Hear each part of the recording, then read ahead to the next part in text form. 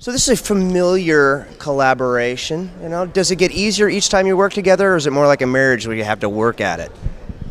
Uh, well, it's there's us, there's, weird. there's, a, there's, a, there's a trio of us. We haven't got Fran here with But us. I'm only talking to two right yeah, yeah, it's um. Look, uh, you know, you, you get to a point where it's great to have a, a, d- a com- a comfort and, a, and, and you know each other so well that you know you can cut through all the crap and just get to the heart of, of, of trying to solve the puzzle of writing the script. Yeah. Um, but at the same time, every script is a challenge, and it's not it's not the challenge of working together as th- as three writers. It's the No. challenge of the story and the characters. That's that's the hard part. Yeah. And actually, three is good. Three, if if somebody.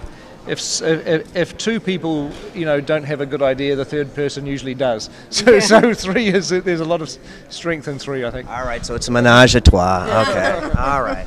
Uh, I, does it? Um, do you have a certain way when you would you would attack a, a- a massive story like this to, to adapt it to, I guess, a couple of hours on on the screen?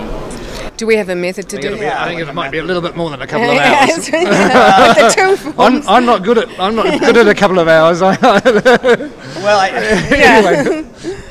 a five, ten.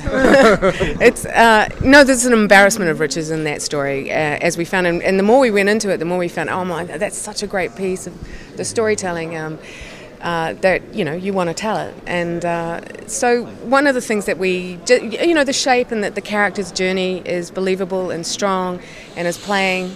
Um, this is a funnier film. I think there's a lot of comedy the, in the here. reality is, is, is if we if we could have it, have our cake and eat, eat it too, there's more story that we'd like to tell. I mean, Tolkien wrote um, 125 pages of, of, of notes on expanding The Hobbit, which Hmm. has been published as appendices of Return of the King, and so much of that material is great. And if we had, a, you know, if we, if we could, we'd love to adapt more, more of that. So.